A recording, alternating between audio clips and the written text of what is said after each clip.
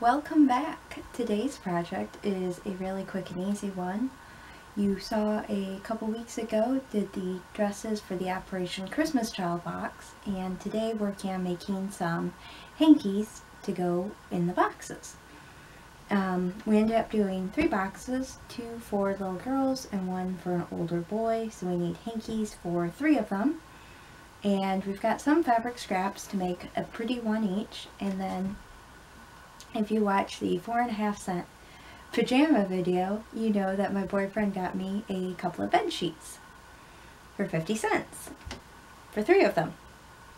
And the one had kind of been chopped up and patched, but it's a good white bed sheet and with a good wash, it's actually good for making hankies. So that one is getting turned into hankies and I'm actually filming these outdoors lately. We did the kite and the sewing and now I'm filming the beginning, but I can tell you that um, Niveus was very helpful and got a new cat toy out of it. So she's a happy girl. But that's what the, this week's project is. I'm going to go and get those sewed. Well, okay, I already sewed them, but now you get to watch me sew them. So, I'm going to go sew now.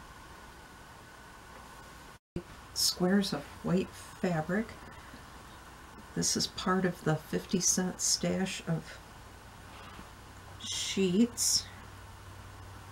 One went and made a trousseau's worth of night things. This one's going to make handkerchiefs for Operation Christmas Child. I can get it to line up. And I did a video a couple episodes ago on making dresses um, and I will link that in the description. But this is a cotton sheet. It doesn't have any polyester in it by the mm-hmm. feel of it, and it's just worn nice and soft. It'll make wonderful handkerchiefs. Niveus. And I'm making them 15 inches square before hemming. It's a nice big size.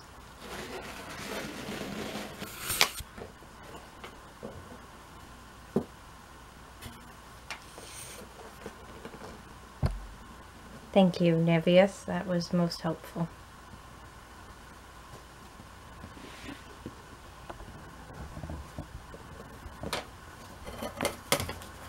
The good news is the cat hair won't show this time. Yeah. Maybe that's the secret. That's, a, that's a big novelty. Get your key to... Ow!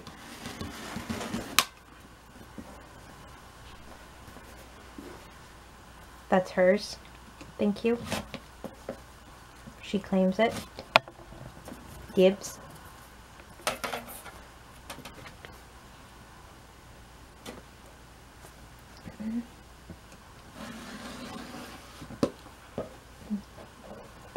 So there's four cut out. I think I want two more. You're gonna have to start negotiations. Nope. I'm just gonna take her for a ride.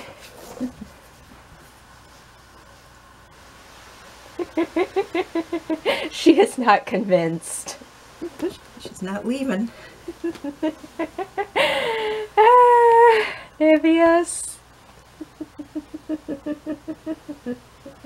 she is baffled.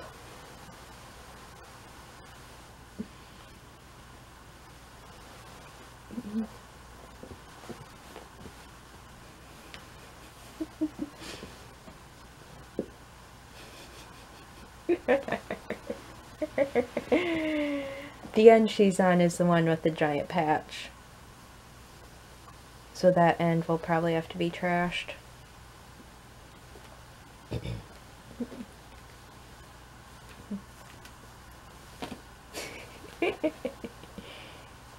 okay, are you done?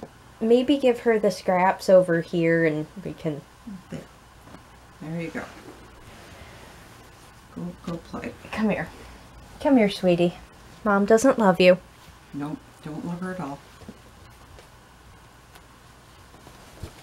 But, oh, you goosed her. Did I? You whacked her with it. Well. Poor kitty. Poor kitty. Poor abused kitty. kitty. Poor kitty. Kitty unloved. I took her for a ride. I don't know what more she could possibly want.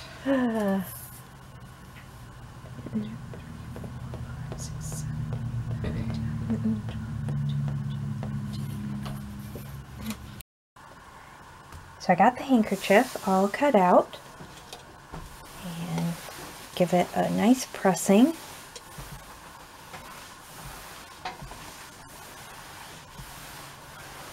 And if I iron in a hem, I won't need pins while this is being sewed.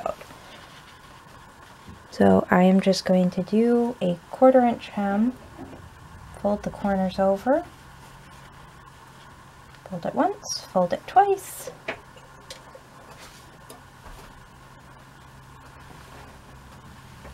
So each side will lose a half inch to the hem.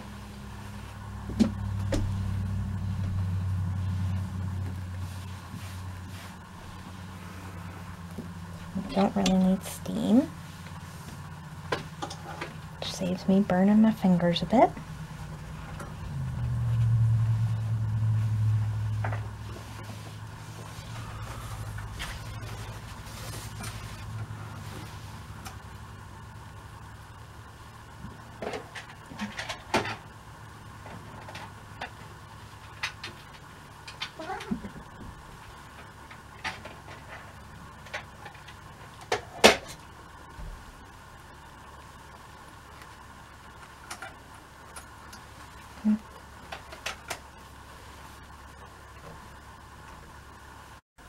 So I took the pieces that I trimmed off the edge and I laid one on top of the other so it's double thick because she's very hard on her toys. And I just sewed it into a tube, turned it inside out, stuffed it with scraps from Kyle's 14 cent pajamas. They were 16.67 cents, thank you. Oh, sorry. Well, let's just round up to 20 because you needed some trim. and the tail is the bottom hem that I cut off. So it's already folded and stitched. And impervious to kitty. Impervious to Kitty. So Kitty has two mousies from scraps. Kitty got new toys and it's not even Christmas. So we found a new way to use the 20 cent pajama scraps. We made kitty mousies. Are you biting it? It's biting it. It's biting its head. Oh, poor Mousy. She has other toys and we have to keep sewing them up because she keeps eviscerating them. But these are double thick, so maybe they'll last a few weeks before she guts them.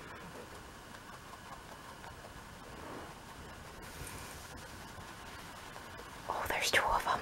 There's two of them. Which which one do I get?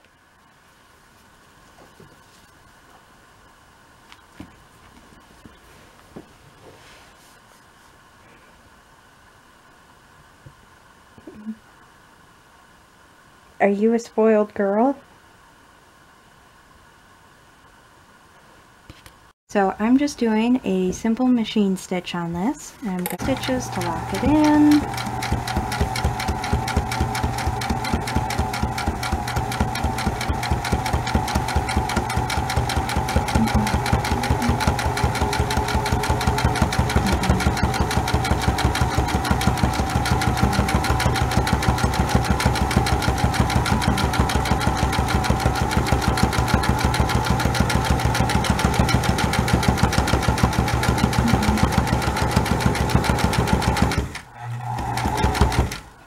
And then to pivot the corner, I'm to leave my nail down, raise my foot up, and just swing it around.